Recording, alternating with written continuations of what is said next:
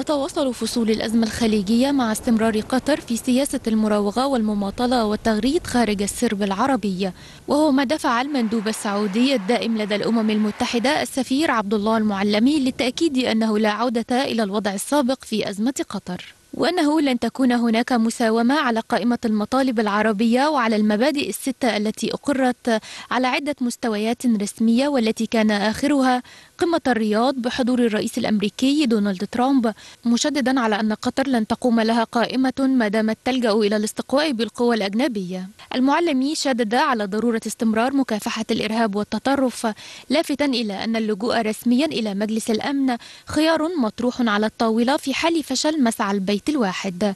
يأتي ذلك في الوقت الذي وصلت فيه دفعة جديدة من القوات التركية إلى الدوحة وهي الدفعة السادسة لتنضم إلى سابقتها هناك. وهي الخطوة التي ينظر إليها أنها استقواء من جانب الدوحة بدول خارج المنظومة الخليجية ما قد يضيف المزيد من التوتر إلى الموقف الراهن. إذا لا تزال الأزمة مرشحة للتصعيد وستظل رهنا بتفاعل الدوحة الإيجابي مع المطالب العربية. إذا سنناقش في الفقرة الثانية من برنامج العرب في أسبوع تطورات الأزمة التي أحدثتها قطر بالإصرار على شق صف العرب والسير بعيدا عن طريق في طريق دعم الإرهاب وإيواء داعميه أيضا ليس دعمه فقط. فمن كل حدب وصوب يأتي الوسطاء محاولين جمع الأشقاء. على كلمة سواء فتفتح الدول الداعية لمكافحة الإرهاب تفتح أذرعها لكل طريق يكون آخره التزام قطر بتعهدات كانت قد قطعتها هي على نفسها قبل أربعة أعوام إلا أن هؤلاء الوسطاء سرعان ما يعودوا بخفي حنين في ظل تمسك الدوحة وعنادها وتمسكها بمواقفها وأيضا إتيان سلطاتها بأحاديث ما أنزل الله بها من سلطان عن حقوق سيادية وما إذا وما إلى ذلك أحداث نسي القطريون وهم يرددونها أن سيادتهم لا محل لها من الإعراب طالما تسببوا في زعزعة أمن جيرانهم. أو ونصروا الإرهابيين. إذا أرحب بضيفي في الاستوديو الأستاذ خالد الكيلاني كاتب متخصص في الشؤون العربية. أهلا بك أهلاً أستاذ بك. خالد. ونتحدث عن العناد القطري المستمر. والبداية نتحدث أن الأيام تمر. تتعقد الأزمة أكثر في أكثر كما نلاحظ لا ليس هناك أي حل إلى الآن واضح بسبب عناد الجانب القطري وإصرارها على الموقف برأيك على ماذا تراهن قطر وهي تتصرف هذه التصرفات وتصر على هذا الموقف قطر طوال الوقت كانت بتراهن على يعني ثلاثة أشياء كانت تتفوق فيها وهي الإعلام أو. الآلة الإعلامية. اللي كانت بتمثلها آه، على الأكثر قناة الجزيرة القطرية. نعم. وتراهن على المال وتراهن على الأموال الطائلة طبعا وتراهن على الفاعلية الدبلوماسية اللي كانت بتمثلها الدبلوماسية القطرية في فترة من الفترات. لكن أعتقد أن هذه الأسلحة كلها الآن أصبحت لا جدوى لها وأسلحة ضعيفة جدا. فنقلت رهاناتها على تدويل الأزمة مع الدول الأربع. سواء بالاستقواء بإيران أو باستخدام قوات من تركيا أو بتدويل الأزمة أوروبيا وأمريكيا بالشكوى والمظلومية القطرية على غرار حركة حماس نعم. باستخدام آه، معاناة القطريين نتيجة للحصار. آه، قطر لا تعاني. قطر لديها اسطول من الطائرات يتجاوز تقريبا 1200 طائرة شحن. تستطيع أن تنقل بها كل آه، احتياجات قطر من الغذاء آه، بتأتي بالخضروات والفواكه من أوروبا باللحوم من أستراليا بالألبان من تركيا. ليست لديها مشكلة نعم. خاصة مع عدد سكان قليل جدا. مم. فهي تحاول الآن أن تستعطف العالم الخارجي على أحوال القطريين كما تفعل شقيقتها حماس في آه، غزة. الدول الأربع الداعمة لمكافحة الإرهاب. آه، إزاء ما تفعله آه، قطر آه، وهذا آه، العناد المتواصل. قالوا أن القطيعة ربما ستطول. آه، ما قراءتك لملامح هذه القطيعة آه، بعد استمرار سلطات الدوحة في غيها؟ وأيضا إلى أي مدى يمكن أن تستمر هذه القطيعة؟ أنا أعتقد أن القطيعة سوف تستمر طوال آه، آه، بقاء هذا النظام الحاكم في قطر. وطوال إصرار قطر على ال يعني ال يعني الاستمرار في نفس السلوكيات ال- القديمة خاصة وأن تاريخ قطر من التآمر على المنطقة العربية ومن التدخل في الشؤون الداخلية لدول المنطقة العربية ومن دعم وتمويل ومساندة والدفاع عن الإرهاب. تاريخ طويل جدا بدأ منذ عشرون عاما أو أكثر منذ تأسيس قناة الجزيرة.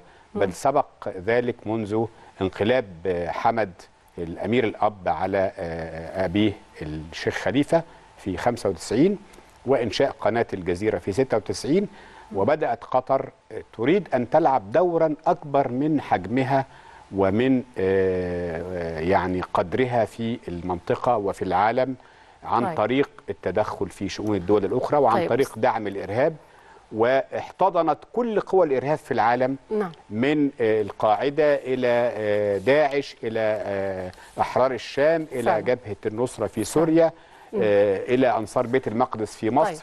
إلى التنظيمات الإرهابية في ليبيا وغيرها. هذه الصورة أستاذ خالد. الوزير الأمريكي والفرنسي وقبلهما أيضا آه الألماني والبريطاني حجوا جميعا الدول لمحاولة تقريب بين وجهات النظر لكن آه هذه المساعي آه جميعها بأت بالفشل تحطمت على صخرة آه العناد القطري. آه على من آه تعول الدوحة؟ لماذا هي آه مطمئنة ومتواصلة في عنادها ولا تأبه لأحد ولا لشيء برغم كل هذه المساعي؟ آه أيضا سمعنا أن الرئيس آه التركي على آه وشك آه زيارة لبعض الدول الخليجية خلال الشهر آه الجاري. هل يمكن ربط ذلك؟ آه، نبدأ بس بالأول يعني اولا آه، يعني أنا في. في اعتقادي أو في تقديري نعم. أن من حجوا إلى الدوحة من آه، وزراء خارجية في سواء الأمريكي أو الفرنسي أو الألماني أو ال... ال... البريطاني أيوة. كانوا لديهم مصالح محددة في هذه الأزمة يريدون جني كل الثمار الممكنة لدولهم ولانظمتهم من هذه الأزمة ولم يكونوا مجرد وسطاء عاديين ولا رغبة لديهم في إنهاء الأزمة مع قطر أو بين قطر والدول الأربعة. تمام. آه، نمرة اتنين آه، آه، قطر على ماذا تراهن؟ قطر دائما تعودت أن يعني تتنازل أو تقدم تنازلات في الظلام. هذا حدث في 2013 و2014 عندما وقعت مع السعودية بوساطة الكويت.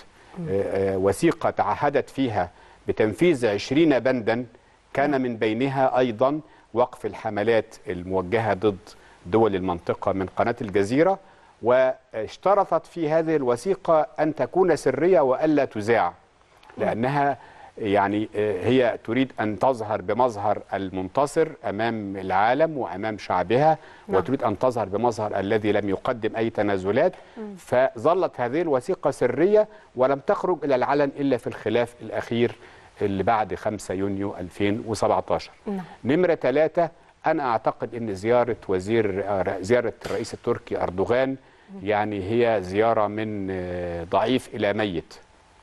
يعني آه، لن يفيد الأمر شيئا. أردوغان نفسه يخشى من أن يكون الدور القادم عليه في مواجهة الإرهاب لأنه العالم الآن أصبح أمام مسؤولياته في الحقيقة مصر والسعودية والإمارات والبحرين في ت- تحركهم الأخير وضعوا العالم أمام مسؤولياته ووضعوا العالم في مواجهة الحقيقة. هناك دول تدعم الإرهاب.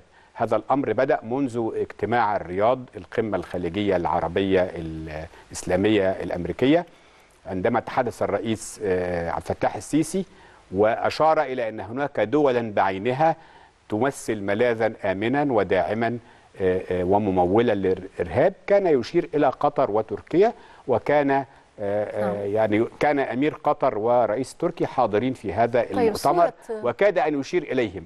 من هذه اللحظة تم وضع العالم كله أمام مسؤولياته في مواجهة الإرهاب تمويلا ودعما ومساندة وإيواء يعني إذا كانت كما تقول زيارة من ضعيف إلى ميت يعني ما هي صورة الزيارة إذا للرئيس التركي آه، لدول الخليج؟ هل ستكون داعم لما تقوم به قطر أم من الممكن أن يظهر بدور جديد آخر يحاول في حلحلة الأزمة بشكل جدي؟ لا هو طبعا أردوغان بكل بساطة ممكن يبيع قطر. من أجل إنقاذ روحه ومن من أجل إنقاذ نظامه من الممكن أن يبيع قطر بكل بساطة يعني تمام. أردوغان فقط يريد أن يتقرب إلى ال- الدول الخليجية السعودية والإمارات اللي هو ينوي زيارتهم والكويت وينوي زيارة ثلاث دول يريد أن يتقرب إليهم بمظهر الذي آه، يعني آه، يرفض تصرفات قطر لكنه قام بإرسال آه، جنود آه، قوات تركية نعم قوات آه. تركية إلى الدوحة لكنه أعلن أنها لحماية الحكومة والنظام فقط وليست للدفاع عن قطر. طيب المحاولات ال- القطرية لتدويل وأقلامة الأزمة ما الأسباب والدوافع؟ آه، وراءها هي تصر بشدة على ذلك وهناك آه، عقبات تواجهها أيضا في ذلك.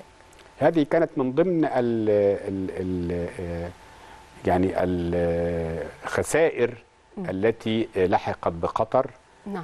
من الأزمة محاولتها تدويل الأزمة لأنه هذا الأمر يعني زادها يعني انعزالا وزاد الدول الأربعة يعني إصرارا على موقفها لأنه الأزمة كانت في الحقيقة هي أزمة داخل البيت الخليجي وداخل البيت العربي باعتبار أن مصر كانت طرفا رئيسيا في الأزمة.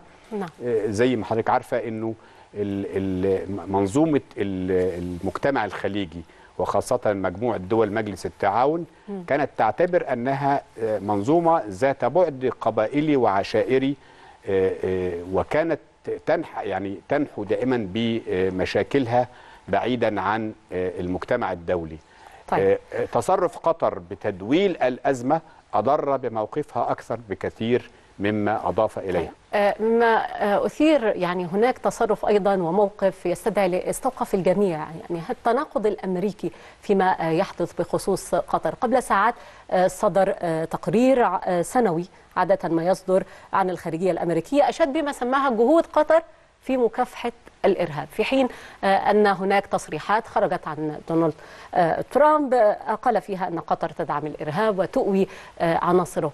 يعني أي تناقض غريب هذا وعلى ماذا يدل هذا هو يعني دي السياسة الأمريكية تعودنا عليها دائما منذ سنوات طويلة جدا إنه آه، البنتاجون بيبقى ليه رأي والبيت الأبيض ليه رأي والكونجرس ليه رأي ووزارة الخارجية ليها رأي.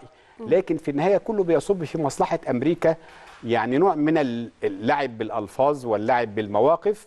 آه، لكن في النهاية يعني آه، أمريكا تريد أن آه، تحلب آه، قطر والمنطقة العربية إلى آخر آه، نقطة آه، آه، لبن أو آخر آه، سنت نعم. آه، في أموالها. آه، ثم في النهاية لا موقف لها. آه، أمريكا استخدمت قطر فترة من الفترات لكن كأي آه، مستخدم لعميل آه، يريد ألا يخرج العميل عن آه، دوره المرسوم له. قطر خرجت عن الدور المرسوم لها أمريكيا آه، آه، منذ آه، ما بعد الربيع العربي منذ وبعد 2011 وبالتالي أمريكا لن تستمر في دعم قطر بل هناك مطالبات آه، آه، أمريكية داخلية من عدة آه، شخصيات كبيرة بنقل قاعدة العديد من قطر نعم. باعتبار أن قطر قد استفادت من القاعدة أكثر من استفادة أمريكا منها لأنها بتحتمي في وجود هذه القاعدة من جيرانها الذين يعني تمارس دائما ضدهم الإرهاب ودعم الإرهاب وتمويله طيب إقرار وزير آه، الدولة للدفاع آه، في قطر آه، بأن آه، بأنه لم يكونوا يرغبون في الأساس آه، في الانضمام إلى التحالف العربي الداعم للشرعية في اليمن وهو آه، إقرار صريح بشقهم للصف آه، العربي آه، صراحة. كيف تقرؤون هذا الإقرار؟ وأيضا آه، من من التحالفات الأخرى لم تكن ترغبها قطر؟ ده ده تعودنا إحنا على التخبط دائما في التصريحات القطرية ولو نرجع إلى الوراء قليلا تذكري حضرتك التصريحات التي خرجت عن الحكومة القطرية وعن تميم من قبل ثم قيل انه تم اختراق موقع وكالة الأنباء القطرية. قناة وقيل مرة أخرى إنه آه، تم آه، آه، يعني آه، نسب تصريحات آه، مش حقيقية وتعودنا على هذه الأشياء من هذا القبيل وقد يخرج بعد قليل آه، وزير الدفاع أو وزير شؤون الدفاع آه، خالد العطية وينفي ما صدر على لسانه من تصريحات. في الحقيقة قطر دائما تلعب دورا مزدوجا في كل الأزمات التي في المنطقة.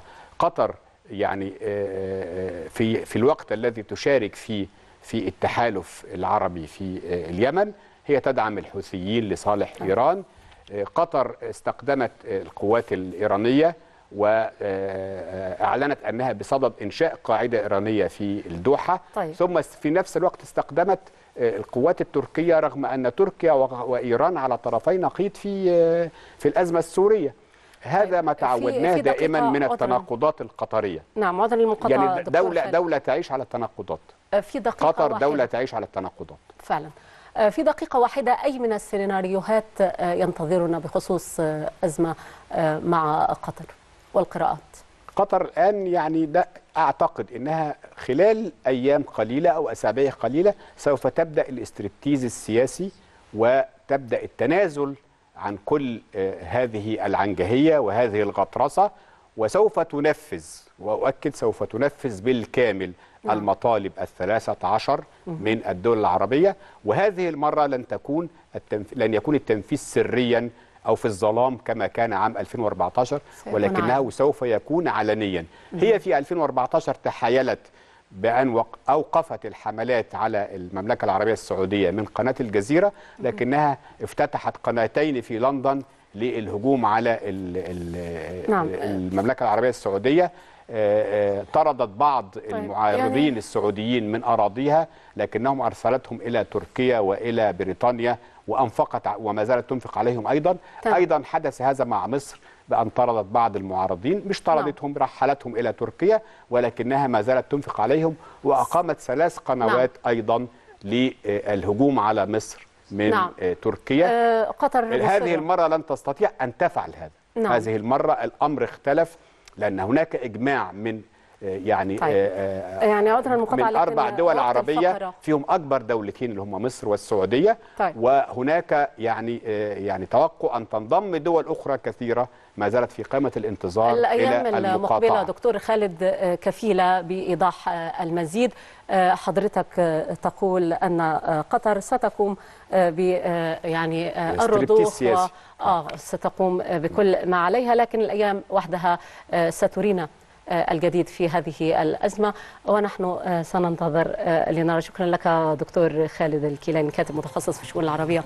آه، شرفتني في الاستوديو شكرا. جزيلا. لك هذا الحلقة متواصلة من العرب في أسبوع. نتابع ملفات أخرى. سنتحدث عن الشأن الليبي وتطوراته بعد الفاصل.